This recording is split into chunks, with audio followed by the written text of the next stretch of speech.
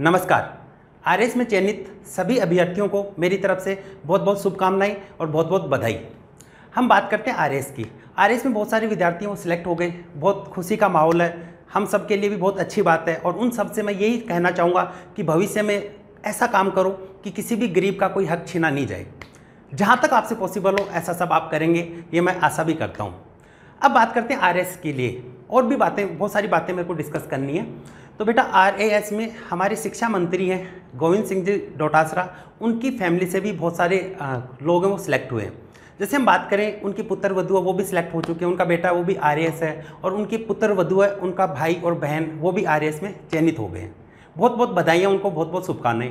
क्योंकि अगर हमारी शिक्षा मंत्री है, उनकी फैमिली से अगर ऐसा कोई करता है तो हमें बहुत सी प्रेरणा मिलती है क्योंकि हम उन लोगों को देखते हैं कि ये देखो शिक्षा मंत्री हैं और इनके परिवार में भी लोग कितनी अच्छे से मेहनत कर रहे हैं, कितनी पढ़ाई करें, कितना उनमें टैलेंट है, ये सब बातें देखते हैं, हमें भी बहुत मोटिवेशन मिलता है। लेकिन मैं थोड़ा सा और डिस्कस भी करना चाहूँगा। अब देखो, बात करते हैं जो भी अभ्यर्थी उनके परिवार से सिलेक्ट हुए उनके बारे में। तो उनके परिवार में सिलेक्ट होने वाले अभ्यर्थियों में एक प्रभा जी हैं, जिनके पहले प्राप्तांक थे, जो इंटरव्यू से पहले के उनकी बात कर रहा हूँ, वो ऑलमोस्ट 45 परसेंट थे। और जो गौरव हैं, उनके हैं 47 परसेंट और जो प्रतिभा जी हैं, उनके ऑलमोस्ट 50 परसेंट मार्क्स हैं। लेकिन एक संयोग देखिए, इसको आप संयोग कहोगे, इत्तेफाक कहोगे या फिर टैलेंट कहोगे, ये सब तो आप डिसाइड कर सकते हैं और इतना आप सब लोग जानते भी हैं। उन तीनों ही अभ्यर्थियों के अगर आप देखोगे इंटरव्यू में तो सबके ही 80 परसेंट मार्क्स हैं। हंड्रेड में से 80 मार्क्स हैं, वो उन्होंने अचीव किए हैं।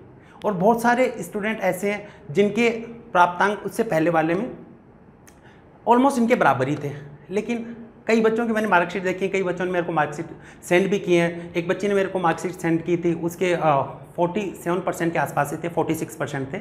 और उसके इंटरव्यू की बात करें तो इंटरव्यू में सिक्सटी थ्री परसेंट थे। तो उसका चयन नहीं हुआ। कोई बात नहीं। अगली बार अच्छे से मेहनत करेंगे तो उनका भी चयन हो जाएगा। लेकिन इंटरव्यू की आ, कुछ बात अलग है। मेरे को कुछ ये समझ नहीं आया। इसको आप संयोग कहोगे या इत्तेफाक कहोगे या टैलेंट कहोगे या कुछ और कहोगे कि तीन भाई बहन जिनके इक्वल मार्क्स हैं। हाउ इट कम पॉसिबल 80 80 80 हो सकता है, इत्तेफाक आ सकता है। टैलेंट है टैलेंट तो होता ही है। टैलेंट है तभी तक इस लेवल पर पहुँचे प्री क्लियर की है मेंस क्लियर की इसको मैं कहीं से नहीं नकार रहा हूँ। लेकिन बात मैं सिर्फ़ इंटरव्यू की कर रहा हूँ। इंटरव्यू में एक जैसे मार्क्स आना इतना बड़ा इत्तेफाक इत्तेफाक से भी नहीं हो सकता, जो मेरे को लगता है। अब देखो, हमारे एजुकेशन मिनिस्टर हैं, उन्होंने ये कहा है कि 80 परसेंट मार्क्स लाना, या 80 मार्क्स लाना कोई बड़ी बात नहीं है। जिन बच्चों में टैलेंट होता है वो 80 परसेंट मार्क्स ले आते हैं। इंटरव्यू में भी 80 परसेंट मार्क्स लाना कोई बड़ी बात नहीं है, मैं उनको बात से भी सहमत हूँ। लेकिन अब एक बात देखिएगा आरएएस के लिए जिन अभ्यर्थियों ने मेंस क्लियर की प्री क्लियर की, फिर इंटरव्यू में पहुँचे हैं, उन्होंने कौन से सब्जेक्ट से वो वहाँ पर आए थे? मैं इस बात पे कहीं पर भी किसी के साथ में इस टाइप की भावना नहीं रखना चाहता कि ये चीज़ गलत है, ये सही है। लेकिन मैं कुछ दूसरे पॉइंट को इससे मैं रिलेट करना चाहता हूँ। उन्होंने एक बात ये बोली है, आपने भी देखा होगा। उन्होंने ये कहा कि 80 परसेंट मार्क्स लाना कोई बड़ी बात नहीं है। मैं ही मानता हूँ, बड़ी बात नहीं है। जो विद्यार्थी अच्छे से प्रिपरेशन करता है, जो अच्छे से मेहनत करता है तो उसके लिए कोई भी चीज़ इम्पॉसिबल होती नहीं है।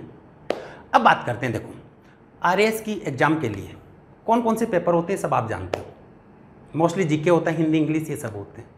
अब बात करते हैं ग्रेजुएसन की।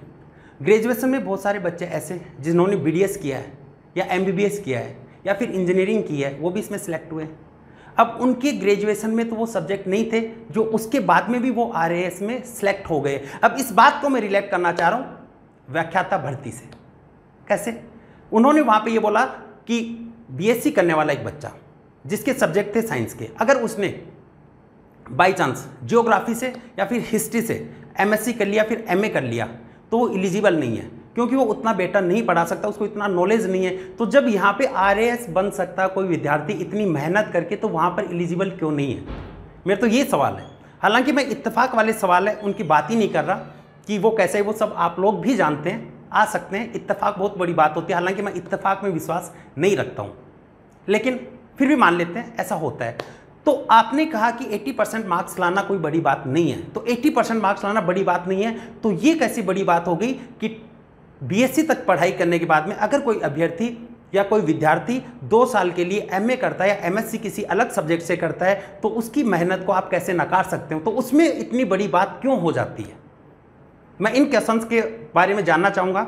आप सबसे ये पूछना चाहूँगा, जो भी मेरे वीडियो को देख रहे हैं, उन सबसे पूछना चाहूँगा कि क्या यहाँ पर हमारे साथ में? या क्या आप लोगों के साथ में? क्या हम सभी राजस्थान के जितने भी लोग हैं, उनके साथ में न्याय हो रहा है?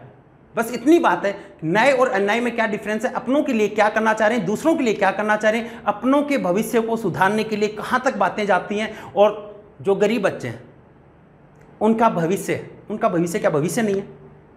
एक बच्चे ने यूपीएससी की तैयारी करने के लिए या फिर ये मान लो कि आर की तैयारी करने के लिए ही साइंस के सब्जेक्ट को छोड़कर बाकी सब्जेक्ट चुन लिया, क्योंकि मान लो कि हिस्ट्री ले लिया तो उसको यहाँ पे जीके वगैरह में हेल्प होती है। वो बच्चा आरएस बन सकता है तो वो व्याख्याता क्यों नहीं बन सकता? बस इतना ही पूछना चाहता हूँ। आज की वीडियो में ज़्यादा लंबी चौड़ी बात नहीं करना चाहूँगा। बस इतना सा पूछना चाहूँगा कि एक बच्चा जो आरएस बन सकता है तो वो बच्चा क्या व्याख्याता नहीं बन सकता? क्या वो लेक्चरर नहीं बन सकता?